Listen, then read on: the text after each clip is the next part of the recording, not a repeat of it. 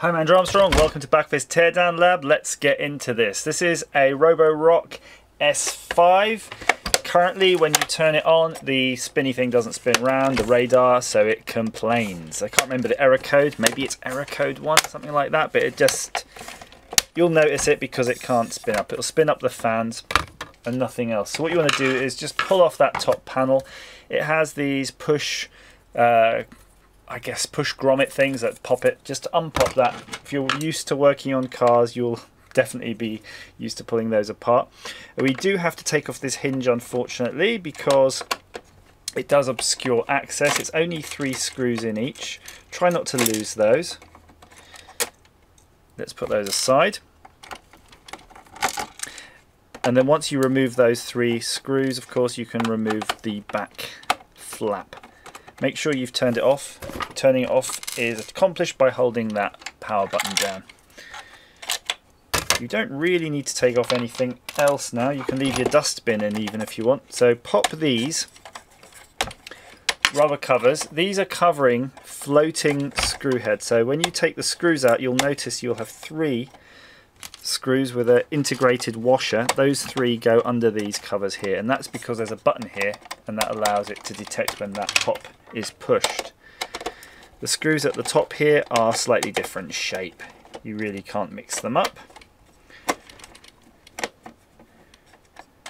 And I'm trying to keep it all together so that when I take the plastic lid off, it's going to keep the screws with it. We'll see if I'm successful or not. One more needs just a bit of a twist.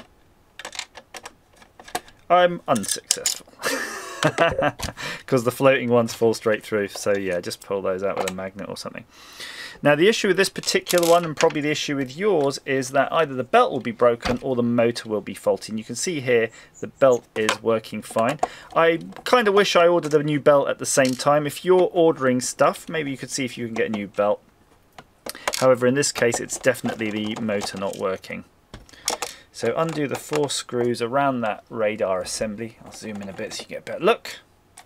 You can see that's popped out. Now that has come out as a complete unit on the bottom you'll notice there's a header here. That's the actual PCB connection and that's what allows it to come out one piece. You don't have any other wires to undo. The last couple of things you have to do is actually take the motor out itself. So take the belt off like that and there's just two screws.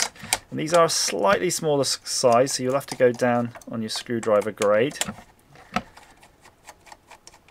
It really doesn't take too long at all. So there's your two little screws. You see they're machine screws the motor's just drop straight out and you just unclip it from the bottom of the PCB. Now I went online and ordered this from Amazon. You can get them any places, eBay, the usual sort. I'll put a link down below so you can get your spare part. I'm just yoinking it out. Now if you're lucky and you get the exact right one, it will have exactly the same components. And in fact, this one uh, used to have one of those yellow bands. This was a, one I actually repaired. I managed to get another couple of days out of this before it totally died. Now, I've noticed that the uh, belt pulley isn't in exactly the same place. I'm just going to do a bit of a test. It might well work like that. But I'm just going to do a little bit of a test with a screwdriver just to see if we wanted to. Could, yes, you can. You can certainly push it up and down. So I'm just going to push it back to where it was on the other one, which was right on the top, just like that. So that's absolutely fine. Let's pop that in. We'll just rotate it around until the two screw holes line up. And there we have a couple of screw holes. And then we're just going to put those screws in. And if it doesn't go in right away, just slightly rotate the motor till those screw holes are giving you a bit of better alignment, like that. We're almost there, guys. Now I'm going to show you how to move the belt on and off, because there is a possibility your belt will be gone, or mauled. So I got cross thread there, be careful bit, a bit of a rush there. I cross-threaded it, but now it's okay. So if your belt is gone, you're going to want to know how to thread on your new belt. We're just going to whip that belt off like that. Okay, so now you've got no belt. Pretend this is your new belt. What you do is hold it between the black plastic and the uh, orange plastic of the radar, the, the laser LiDAR assembly and you can see there I've just pushed it through so it's just starting to push through. Now I'm holding this end against it so I can pull it. And as I twist you can see it's getting pulled into that channel and then now it's all the way around. Just hook it over to the motor and that looks like it's gonna do well. So pop that back oh before we do that let's put that connector on. That would have been annoying get it all back together and it wouldn't spin round so we pop that back in there, push it straight down. Now put all the screws back. It's at this point you can actually test it without having to put anything else on. So I'm going to push the on button to power it up. And then I'm going to tell it to do some cleaning. Starting to clean. You can see